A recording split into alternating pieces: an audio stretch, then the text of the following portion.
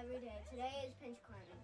So basically, so um, you're gonna basically come over to this and pinch it, and then you're gonna fling up like this, and then fling up, and then continue doing that pinch and fling, pinch and fling, pinch and fling until you reach.